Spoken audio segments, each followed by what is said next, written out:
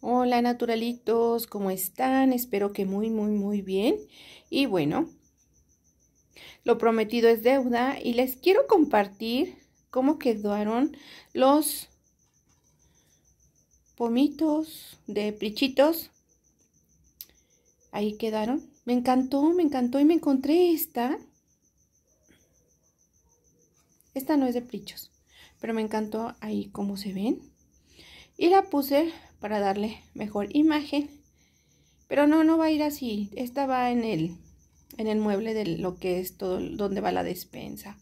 Y bueno, por aquí, en estos chiquitos, puse chilito para la fruta y puse canela. La canela la utilizo muchísimo para lo que es mi licuado de fresa. Y en estos son cinco. Entonces puse granola, puse sal molida, avena para mi licuado de fresa. Por acá puse mi café.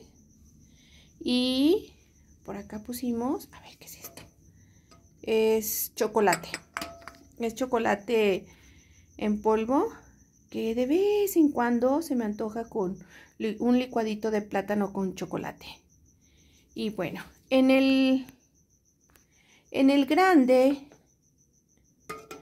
puse Kellogg's. Se ven muy, muy padres. Se ve bien organizado todo. La verdad, yo hubiera querido traerme mucho más. Pero no, nada más los necesarios. Que era pues mi granolita, el café que de vez en cuando estoy tomando. Ay, nos faltó este. Aquí puse muy poquita azúcar, que es lo que tengo en casa, poca porque pues yo casi no, no utilizo el azúcar.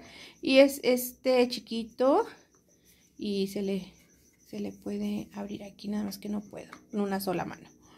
Y pues ahí quedaron.